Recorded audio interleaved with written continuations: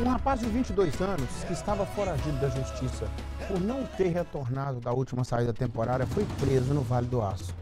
Segundo a Polícia Militar, ele ainda tentou contra a vida dos militares durante uma perseguição.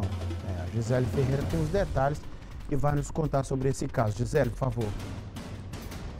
Nico, a Polícia Militar daqui de Patinga realizava um patrulhamento pelo bairro Vila Celeste quando viu um veículo com quatro pessoas em atitudes suspeita. Diante de comportamentos ali que chamaram a atenção dos policiais, dos policiais, eles então ordenaram ali uma parada que foi desobedecida pelo condutor do veículo. Os quatro ocupantes fugiram em alta velocidade e só pararam quando o condutor perdeu, perdeu o controle e o veículo caiu em um barranco. Mesmo assim, os suspeitos conseguiram fugir a pé, efetuando disparos de arma de fogo contra os policiais militares que revidaram.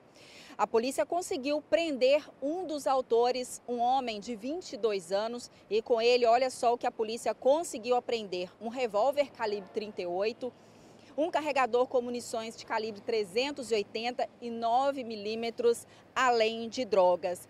Agora, o que chama atenção nesta ocorrência, Nico, é que este suspeito, o de 22 anos que foi preso, ele estava foragido da justiça porque ele não havia retornado na última saidinha de Natal, que foi no dia 29 de dezembro. Ele deveria ter retornado para o sistema, pre, do sistema penitenciário, né?